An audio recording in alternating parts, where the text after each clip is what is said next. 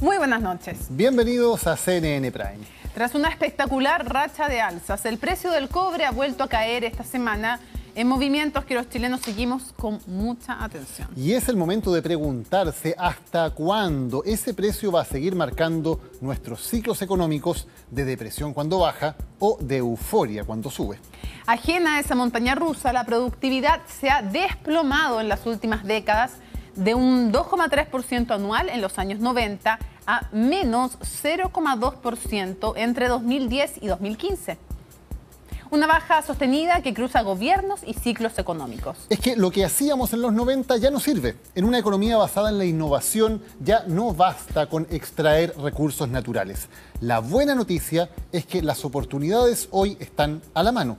Tenemos el litio, fundamental para la revolución de los vehículos eléctricos, a la que ya se lanzaron China y Europa, y también tenemos la energía solar para subirnos a la economía sin emisiones de carbono. La innovación y el desarrollo, un tema que es urgente, sobre el que esta noche van a presentar sus propuestas siete de los ocho candidatos presidenciales, en un foro que transmitirá CNN Chile, porque es ahora o nunca.